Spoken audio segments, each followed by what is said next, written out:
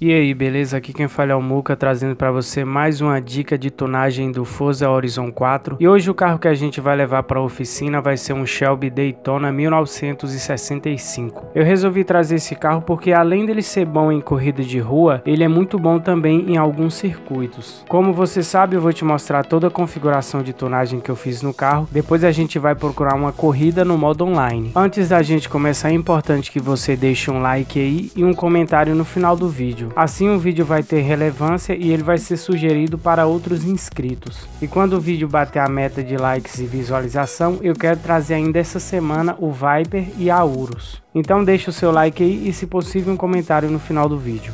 Ok, estamos aqui na oficina de aprimoramentos e eu já vou começando aqui pela conversão. Troca de motor, eu estou usando o V8 6.2 troca de conjunto de transmissão. A gente sabe que é importante usar tração 4x4 aqui no Horizon. Aspiração, eu estou usando o super compressor. Aerodinâmica e aparência. Para-choque dianteiro, eu estou usando o para-choque de corrida. Aerofólio traseiro, eu estou usando o aerofólio de corrida. Pneus e aros, composto de pneus. Eu estou usando composto de pneus de rua. Largura do pneu dianteiro, eu estou usando o estoque 205. Largura de pneu traseiro, eu estou usando 345.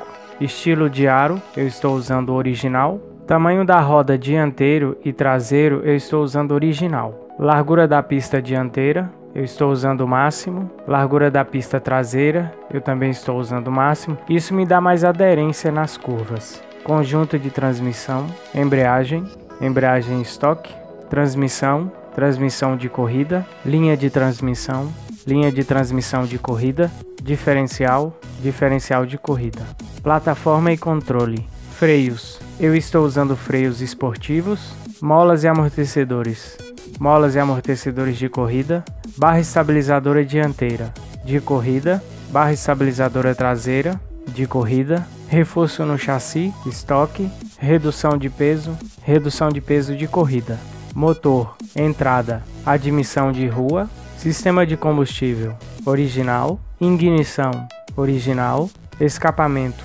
original, eixo de comando original, válvulas, válvulas de corrida, cilindrada, bloco de motor de rua, pistões originais, supercompressor de rua, intercooler sem intercooler, refrigeração de óleo original, volante do motor original. Terminamos a parte de oficina de aprimoramentos, agora a gente vai para as configurações de tunagem. Não se esqueça de deixar um like aí se você está curtindo o vídeo até aqui. Ok, estamos aqui nas configurações de tunagem. Se você tiver dúvida em relação a alguma alteração que eu vou fazer aqui, deixe nos comentários que eu te mando o vídeo falando sobre cada item que está sendo alterado. Como o peso desse carro é 55% maior na dianteira do que a traseira, então deixei a pressão do pneu da dianteira um pouco mais alta do que a traseira. Aqui nas marchas, como eu coloquei a transmissão de corrida, eu deixei nessas escalas aqui. Aqui na parte do alinhamento, toda essa configuração aqui eu gosto de fazer observando a temperatura dos pneus. Se você tiver dúvida em relação a alguma coisa aqui, deixe aí nos comentários. Aqui na barra estabilizadora eu fiz o cálculo, depois eu fui baixando um pouco até eu chegar nessa numeração aqui. Aqui nas molas eu sempre gosto de fazer o cálculo, depois eu deixo 10 de cada ou 20 de cada, sem sair da proporção. Aqui na parte do amortecimento também foi calculado baseado no peso do carro. Aqui na aerodinâmica, como eu gosto de um carro um pouco mais grudado nas curvas, então aumentei bastante aqui a pressão aerodinâmica do carro. Só que eu perco um pouco em questão da velocidade final. Agora, se você quer um carro mais para velocidade, eu sugiro que você tire um pouco de pressão aerodinâmica. Como eu não coloquei freio de corrida, então não dá para me fazer nenhuma alteração aqui. Aqui na parte do diferencial, eu gosto dessa configuração de aceleração um pouco mais baixa na dianteira. Aqui na traseira eu deixei a configuração padrão. E aqui no centro eu gosto dessa configuração aqui.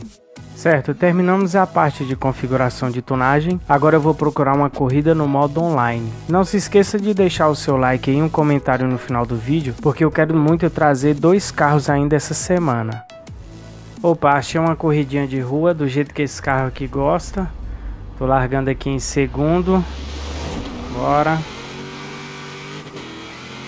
Olha a arrancada dele, o tanto que é boa. Ele some. Esse carro aqui é um pouco caro, tá? Ele, se eu não me engano, ele custa 8 milhões. Só que assim, cara, é um mês você já arrecadou tudo de corrida que você vai ganhar com esse carro aqui. Esse carro aqui vale a pena demais. E tem outro carro também que é, eu acho que é o Shelby Cobra. Esse aqui é o Daytona, né? O Shelby Cobra. Ele tá no Forza Tom. E eu acredito que aquele carro lá vale muito a pena também, porque ele é muito leve também e ele tem uma aceleração boa. Eu quero até ver se aquele carro lá vai se dar bem em circuito. E eu não sei se você fez também, é, não sei quando que você está vendo esse vídeo, mas tem um evento sazonal também que está dando a Mercedes, é, a picape, cara, top 1 de cross country, aquele carro lá. Tudo bem que nem todo mundo gosta de cross country, né? Mas é, como a gente não tem a opção de escolher em que pista a gente vai correr, então é sempre bom a gente ter um carro se caso caia esse tipo de evento. Eu particularmente estou jogando mais o Forza Motorsport 7, porque o, o Horizon tá realmente não tá legal. Até eu voltar a fazer lives no, no YouTube, a única opção que eu tenho é, do Forza Horizon é jogar no. entrar no modo online. E, e assim, é raramente você acha uma corrida igual essa aqui, que você curte de boa, uma corrida de rua, uma corrida de estrada. É, é bem melhor do que corrida de passeio livre, né? Então, é, enquanto eu não, não voltar a fazer lives né, no, no YouTube, eu vou ter que ficar encarando isso aqui. Antes a gente, é, quando eu faço live no YouTube, é bem mais fácil porque o, é, tem mais espectadores e muitos jogam também e dá pra gente abrir um lobby particular. Espero que a gente faça isso na próxima semana que tá chegando aí. É, hoje eu tô com sorte. Toda corrida que eu tô entrando aqui, eu tô largando em segundo lugar. Ainda bem, porque quem larga ali atrás... Eu espero que depois da atualização que tá vindo aí, é, a galera... Parece que vai ter 30 segundos é, que a gente vai largar em modo fantasma, né? Então, com um carro, imagina só, você pegar esse carro aqui, se você largar lá atrás com 30 segundos em modo fantasma, você some. E outra, eu tô com outro carro aí, só que ele é caro também, ele custa 10 milhões. É, esse carro na reta, nossa, ele, ele é, não, eu tenho outro também da Mitsubishi que ele é assim, ele é incrível. Eu acho que ele é melhor do que o Daytona. O pessoal fala que não. Ele, eu peguei esse carro para testar de Aue. A galera falou: "Ah, faz esse carro aí", mas eu nunca vi ninguém andando com ele, então deixei ele meio de lado. Aí ontem eu tava de boa fazendo a live lá na Mixer. Se você não tá participando da minha live na Mixer, deixe nos comentários que eu mando o link para você da, do nosso perfil lá da Mixer. A gente corre junto até a gente voltar pro YouTube. Mas eu vou continuar transmitindo nas duas plataformas para deixar as lives salvas lá também. É, a gente estava correndo lá e eu saí do lobby e resolvi fazer um carro.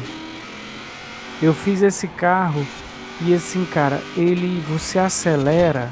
Se você colocar 280 de nossa, eu fico olhando pro mapa e batendo nas coisas. Ainda bem que eu tô com vantagem. Se você marcar 280 naquele carro ali, ele te dá o 280 na reta de boa. Se, se você colocar 300, se tiver reta ele vai. E eu não entendi porque que ninguém trouxe esse carro e eu quero trazer ele pra, pra cá também. Mas é bom pessoal deixar deixa o like aí, deixa um comentáriozinho aí, porque aí o YouTube ele vai é, ele vai indicar o vídeo para outros inscritos, ele vai atingir a meta do canal aí que é de 500 visualização mais ou menos. Aí eu já trago outra na sequência. Eu tô com muito vídeo para trazer. É, parece que nessa corrida aqui eu não me dei bem não. Largando em nono. Vamos lá. Beleza. Arrancadinha dele. Agora é passar a galera, né? Se fosse uma largada em modo fantasma aqui eu já tava longe já. Mas não dá nada não. Eu espero que além de vir esse lobby, essa corrida com a largada em modo fantasma, eu acho até melhor do que uma corrida 100% lobby fantasma, talvez, né? O pessoal, juntamente com a vai ter a atualização de como é que é? Aqui o pessoal que fica arrastando na parede vai ser o update 9. Quem arrastar na parede parece que vai o carro vai grudar na parede. Isso vai ser bom também, porque imagina só, você tem um carro bom de arrancada. Ó, o carro já está em primeiro. Já já foi embora. Você tem um carro bom de arrancada, aquele carro que larga e some. Aí fica todo mundo fantasma. Você larga e some na frente de todo mundo. Aí aquele cara que normalmente ele arrasta o carro na parede, fica se arrastando até te buscar, já era para esse cara. Ou o cara aprende a fazer a curva, fazer a tangência certinha, ou então, meu amigo, ele se lascou. Ai ai.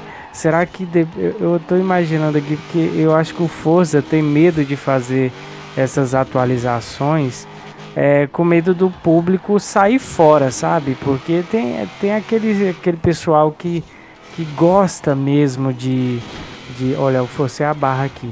Que gosta mesmo de, de arrastar o carro. Inclusive, teve uma. É um evento sazonal que eu tava fazendo. eu entrei com um headset aberto. Aí um cara chegou lá, ô, oh, vamos correr junto aí e tal, não sei o que. Aí eu nem me conhecia. Aí eu de boa, vamos lá. Aí a gente tava correndo junto, fazendo as coisas lá. Aí ele falou assim: Nossa, cara, eu tô preocupado. O Horizon vai ficar ruim demais na próxima atualização. Eu falei: O que, que foi, cara? Não, é que se a gente arrastar o carro na parede, é, o carro vai colar na parede. Eu, caraca, mano. Eu, ai, velho, você arrasta o carro na parede para fazer a curva? Ele é, a gente faz assim. Eu falei: Não, é, na vida real o povo faz assim. Aí ele, ah, cara, é porque eu jogo no, no nível, é, acho que ele, ele, joga no nível o máximo do Horizon. Que pra mim, velho, você ganhar de Drive Atas, mano, é, não é a mesma coisa de, de correr no lobby público. Se for pra ganhar de Drive Atas, eu nem procurava um lobby público para correr. Eu já chegava e ia pro, pro modo, nossa, eu tô errando demais, meu Deus do céu. Ainda bem que o carro é bom. Se fosse pra é, correr com Drive Atas eu não procurava lobby público. Para que lobby público? Porque a, o bacana do lobby público é, é você mostrar para pessoas reais que você joga bem, você tem um carro bom, você sabe fazer uma configuração boa de tonagem, que é uma coisa que eu não concordo muito aqui no Wars. Eu acho que aqui todo mundo é, é, deveria pelo menos quem não tem muita experiência, quem não tem paciência, pegar uma configuração de tonagem de alguém que preste com facilidade, beleza? Até a próxima dica.